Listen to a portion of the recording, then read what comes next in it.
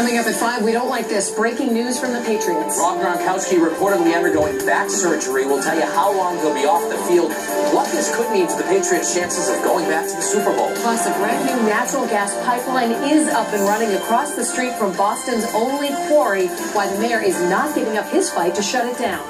Drying off in another mild day for Friday, also tracking a cooling trend this weekend. I'll have your forecast today at 5.